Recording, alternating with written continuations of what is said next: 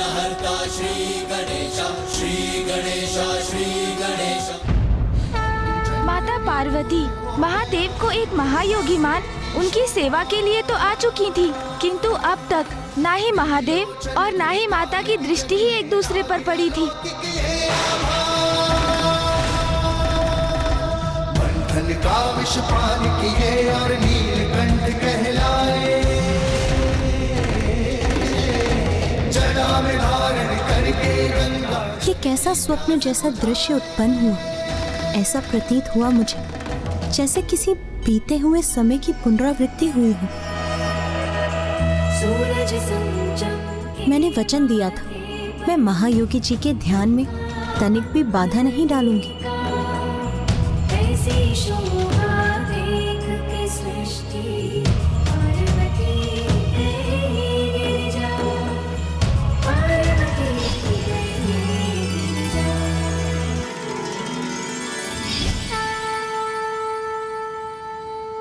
महादेव को यदि कुछ आभास भी हो रहा है तो वो अपनी भावनाओं को नाकार रहे हैं और अपने ध्यान में इतने गहरे जाते जा रहे हैं कि बहन पार्वती के इतना निकट होने पर भी उनकी उपस्थिति को स्वीकार नहीं कर पा रहे हैं। माता पार्वती महादेव की सेवा में डूब गईं और महादेव अपने ध्यान में लीन रहे। और माता ने भी कभी अपनी दृष्टि उठाकर महादेव के दर्शन नहीं किए। बस इसी प्रकार समय बीतने लगा। कब दिवस होता और कब रात्रि माता को इसका ध्यान ही नहीं रहा। वो तो बस महादेव की सेवा में ही खोई रहती किंतु वहीं दूसरी ओर वो अट्टासुर तारकासुर के पास पहुँचने के लिए निरंतर प्रयास कर रहा था। महाराज! महाराज! महाराज! दूर हटो दुष्ट। ये ऐसे नहीं मानेगा।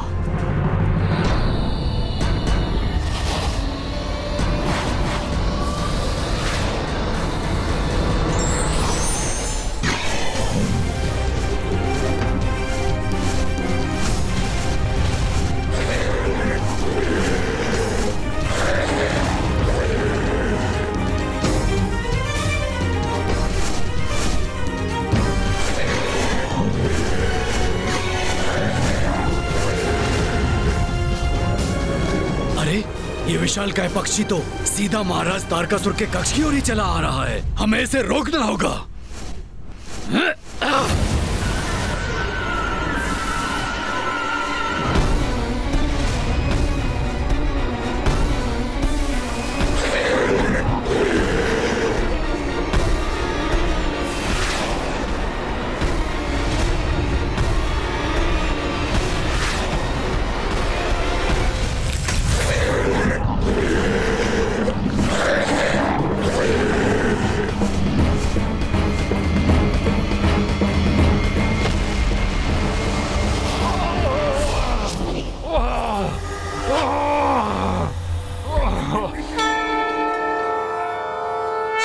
ही उधर अट्टासुर अपनी सूचना तारकासुर को दे पा रहा था और ना ही इधर माता पार्वती एवं महादेव एक दूसरे से परिचित ही हो पा रहे थे।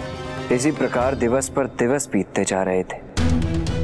देवताओं की अधीरता बढ़ती ही जा रही थी। और साथ ही वो दिन प्रतिदिन शक्तिहीन होते जा रहे थे। शक्तिहीन हो रहे थे देवता? हाँ क्योंकि तारकासुर ने यज्ञ में तारकाय नमः स्वाहा का उच्चारण अनिवार्य कर दिया था। और अब यज्ञ में उसके नाम की आहुति दी जाने लगी थी। अर्थात यज्ञ के अग्नि में दी जाने वाली आहुति की ऊर्जा देवताओं तक ना पहुंचकर तारकासुर के शरीर में समाहित होकर उसे ही शक्ति प्रदान कर रही थी। हाँ इसीलिए अब ये और भी महत्वपूर्ण होता जा रहा था कि महादेव और माता पार्वती परस्पर दर्शन करें। और अब देवता भी समझ गए थे। दयनीय अवस्था में सभी देवगण सहायता की गुहार लिए ब्रह्मदेव के पास पहुँच तो गए, किंतु उस स्थिति में स्वयं ब्रह्मदेव भी किम कर्तव्य विमूर थे। अंततः फिर विवश होकर इंद्रदेव ने सोचा कि अब उन्हें ही माता आदि शक्ति और महादेव को एक दूसरे के निकट लाने के लिए कुछ करना होगा। देवगण, यदि मैं कोई उपाय सुझाऊं, कोई ऐसा उपाय जो हम देवता ही कर सकते हो। क्या आप सब उसमें मेरा सहयोग करेंगे?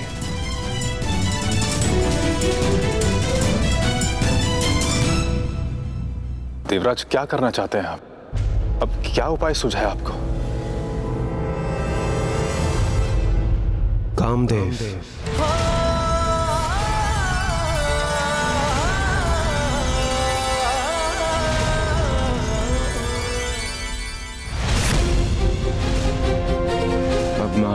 के मन में देवी आदि शक्ति के प्रति आकर्षण उत्पन्न करना ही अंतिम उपाय है। महाराज यदि आपके मन में कोई जिज्ञासा उत्पन्न हो रही है तो उसे शांत कर लीजिए। देवराज इंद्र की यह योजना कामदेव का आवाहन करने की क्या ये उचित था? हाँ ब्राह्मण देवता माता तो वही महादेव की सेवा में उनके निकट थी। कभी न कभी ऐसी स्थिति अवश्य उत्पन्न होती। जब महादेव अपने नेत्र खोलते और उनकी दृष्टि माता पार्वती पर जाती। पर्वतराज हिमावन के परिवार में, माता शैलपुत्री के रूप में, माता आदिशक्ति के जन्म की प्रतीक्षा तो देवतागण ने बड़े धीरज के साथ की थी। ये भी तो एक लीला ही थी कि महादेव स्वयं हिमालय की एक गुफा में समाधि में लीन थे। अर्थात सभी कुछ एक दिव्य योजना के अनुरूप होता ही प्रतीत हो रहा था। अब अवश्य वो पल आने ही वाला था। तो देवराज, इतने उतावले क्यों हो गए थे? माता, महाराज, यही तो परीक्षा है। जब सब कुशल हो तो धर्म के पथ पर स्थिर रहना सरल होता है। किंतु ईश्वर के प्रति श्रद्धा और विश्वास की परीक्षा तो संकट के समय ही होती है। देवराज इंद्र का धैर्य चूक गया था। जहाँ ब्रह्मदेव और नारायण को यह अटल विश्वास था कि दिव्य योजना के अनुसार ही इस संकट का निवारण संभव है। वहीं देवराज इंद्र धीरज खोकर शीघ्रता करना चाहते थे। और यही उनकी परीक्षा भी थी। जिसमें वो विफल। हुए कामदेव वायुदेव धीमे स्वर में बोलिए। हाँ। कामदेव ही हमारी सहायता कर सकते हैं। तो स्पष्ट कहिए देवराज कि आपकी योजना क्या है? वायुदेव महादेव इस समय भाव शून्य में है। संसार से विरक्त है वो। उनकी किसी के भी प्रति कोई भी आसक्ति नहीं है। इसलिए हमें उनकी विरक्ति की भावना को दूर करने के लिए आसक्ति जागृत करनी होगी और उनके भीतर आसक्ति की भावना तभी प्रकट होगी जब उनके हृदय में प्रेम, अनुराग और काम की भावना जागृत होगी। तभी तो वो माता पार्वती के प्रति आकर्षित होंगे। और काम की भावना जागृत करना तो कामदेव का दायित्व है ना? देवराज हम इस प्रकार मध्यम स्वर में इस योजना की चर्चा क्यों कर रहे हैं? ब्रह्मदेव भी यही हैं। हमें उनसे विमर्श करना चाहिए। इसलिए अग्निदेव क्योंकि ब्रह्मदेव हमारी योजना को कभी भी स्वीकार नहीं करेंगे। तो फिर हम वो क्यों करें जो ब्रह्मदेव को स्वीकार ना हो? वायुदेव आप अपनी अवस्था की चिंता कीजिए। क्योंकि ताड़का सुने केवल आप ही को नहीं हम सभी देवताओं को प्रभावित कर रहा है। उसने हमसे हमारा आहार हमें प्राप्त होने वाली यज्ञ की भविष्य हमसे छीन ली। अर्थात हम निराहार होने पर विवश हैं। हम निरंतर अशक्त होते जा रहे हैं। तो आप भी बताइए, हम ऐसे ही प्रतीक्षा करते रहें, या फिर इस अवस्था से निपटने का कोई समाधान ढूंढे? जिसके लिए मेरे पास एक योजना है। तो बताइए देवगण, क्या आप सभी मेरे साथ हैं? अथवा नहीं। उचित है देवराज। आपकी योजना उचित है।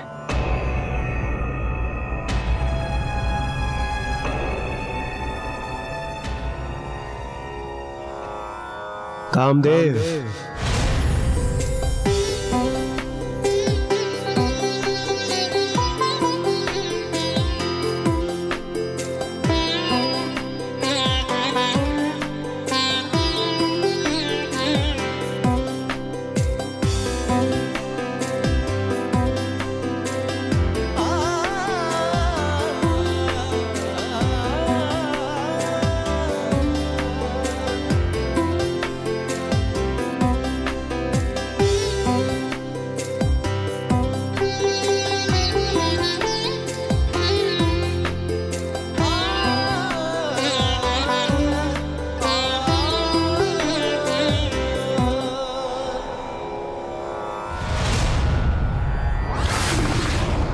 स्वामी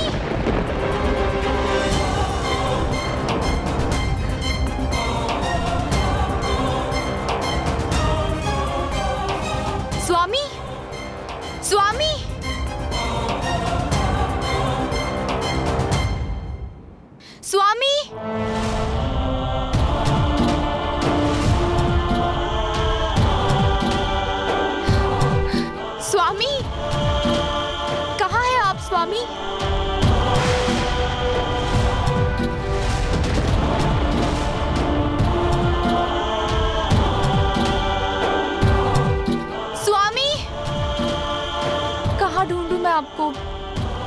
स्वामी? स्वामी?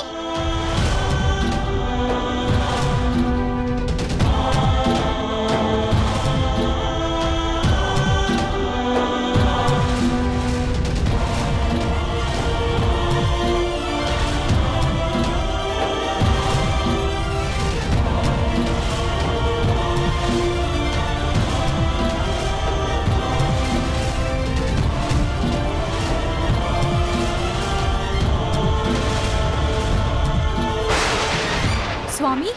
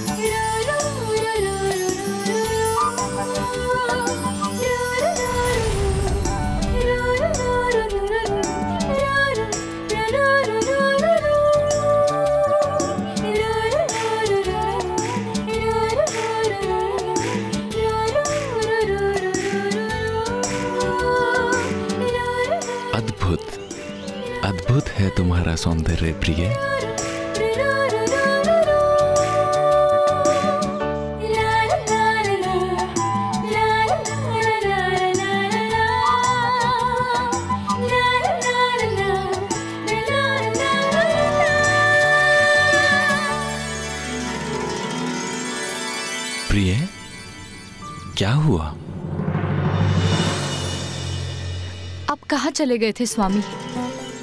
मैं आपको कब से ढूंढ रही थी?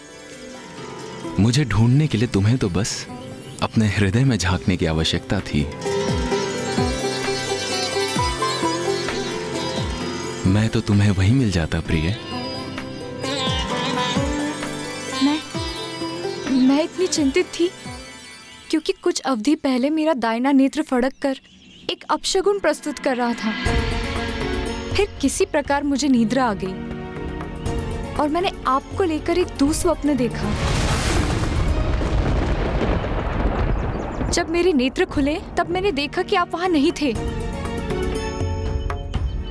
चिंता के कारण मैं इतनी हताश हो गई कि मुझे लगा कि मेरे प्राण ही छूट जाएँगे। और आप है कि मेरा उपहास कर रहे हैं?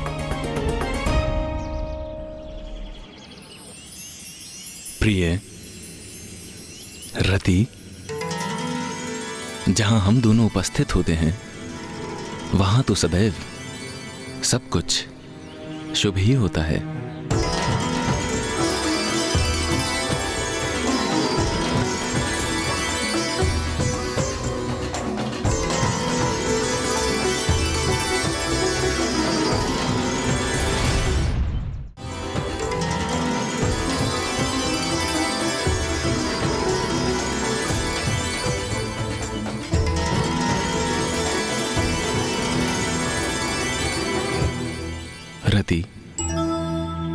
संसार का समस्त सौंदर्य हमसे ही तो है। हम हैं, तभी तो प्रेमी, प्रेमिका परस्पर प्रेम करते हैं। प्राणियों की संतान होती है, परिवार और समाज का निर्माण होता है और इसी तरह संसार का चक्र आगे बढ़ता है।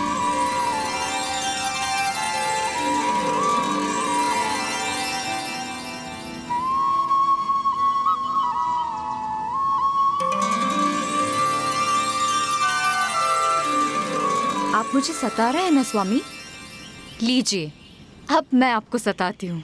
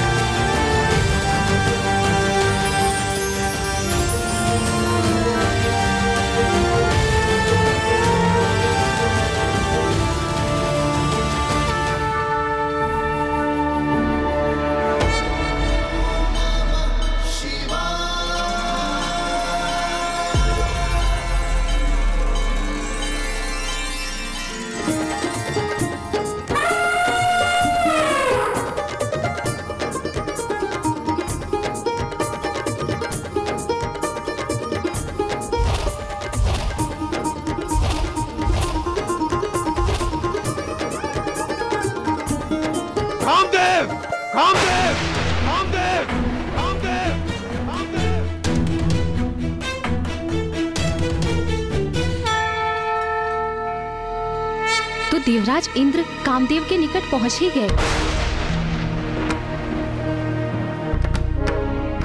हाँ माता। मुझे देवी रति की वेदना से पूर्ण सहानुभूति है। उन्हें पूर्वाभास हो रहा था कि कुछ अनिष्ट घटने वाला है। हाँ माता। किंतु जो होने वाला था, उसका तो देवी रति और कामदेव को अनुमान भी नहीं था। इंद्रदेव तो समुचित तैयारियों से वहाँ पहुँचे थे। तैयारी? हाँ महाराज। इंद्रदेव कामदेव को ऐसा कार्य सौंपने आए थे जो आत्मघात से कम ना था।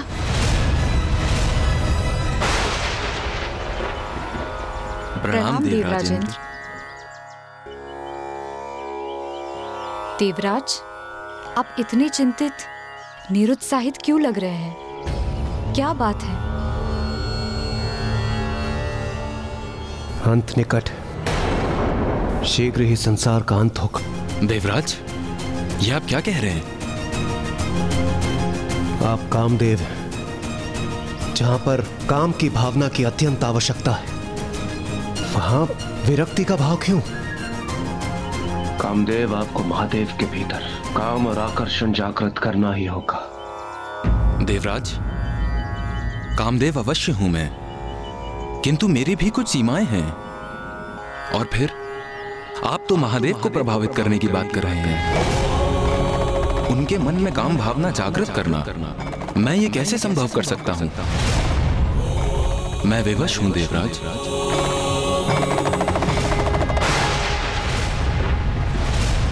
कामदेव ने मना कर दिया। तो क्या इसका अर्थ यही हुआ कि संकट टल गया था, गुणेश जी? संकट अभी टला नहीं था। अभी तो ये तो एक बहुत बड़े महासंकट का आरंभ था।